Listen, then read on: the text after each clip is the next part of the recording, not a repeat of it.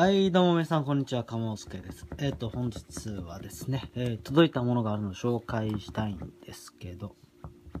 まあちょっと犬がうるさいですけどね、まあちょっと、それは置いといて、で、こちらなんですけど、えー、一応こちらにですね、えっ、と、証明書が入っておりまして、まあ、これはもちろん、あの、あの出品者の方のが買われた時の証明書なんですけど、こちらですね。ネプチューン。えっ、と、エクアドル、ミンドのですね、えっと、ネプチューンになります。まあ、ランバージャックが入荷させたものですね。それの、えっと、ワイルド F1 幼虫のコになります。3頭ですね。えっと、そして、なぜかですね、えっと、1、2、3、4、5、6頭。えっ、と、実はですね、えっと、本当は落札するつもりはなかったんです。えっと、前自分、ちょっと前にですね、自分が出品したネプチューン、えーがですね、サンレーペアな、えーサンレートリオ、オスオスメスのトリオだったんですけど、それが6000円で落札されてですね、えっと、ちょっとショックを受けてたんですけど、それから本当、なんですかね、1週間、2週間が経ったケース、えーっと、あの、同じようにですね、あの、まあ、産地が、まあ、この通りミンドなんですけど、あのまあ、えネプチューンのワイルド F1、え今度は、今度は、えっと、3頭ですね、が出品されてまして、まあ、まあ、どうせ更新されるだろうと、えっと、3セット同時に売られていたうちの、えっと、2つに、と、3500円程度で入札かけてたんですよ。あの、多分、まあ、ほぼ間違いなく更新されるだろうと思って、と思ってたんですけど、えっと、それ以上値が上がらなくてですね、えっと、3300円と2900円っ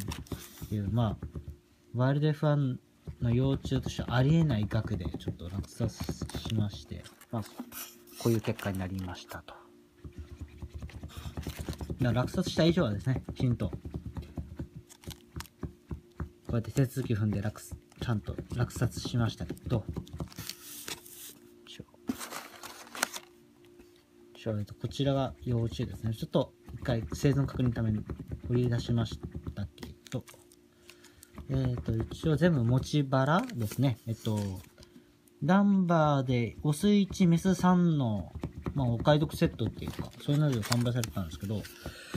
それを、えっと、まあ、全部持ち腹で産卵させたということなんですね。だからまあ、まあ、大体ネプチューン自体が2年、2年かかるので、まあ、まあ、まず、類体に困ることはないですね。2ケットいるので。ボスメス偏らなければの話ですから。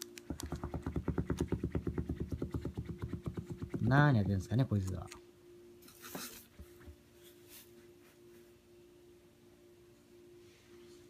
まあ一応、ネプチューンが6、ワイルド F1 の用紙が6体ですね、こちらと。まあ、もう一応自分のところにすでにネプチューン、ナポコさんがですけどね、ワイルド F1 ね、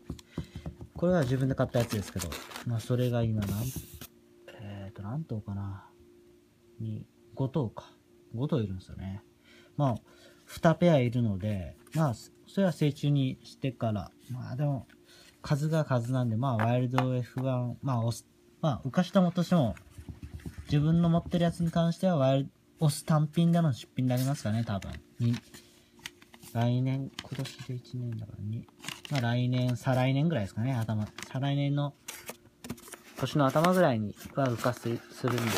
多分、そこぐらいの販売かな。まあ一応ですね、あのワイルド F1 のネプチューン、ミンドさんを、ミンドの、エクアドルミンドさんのネプチューンを落札したってことと、えっと、まあ、ヤフオクでもですね、ちょっとあの、まあ、ちょ、まあ、巡り合わせ次第です。ひょっとしたらありえない額で落札できることもあるよっていうお知らせでした。これで終わります。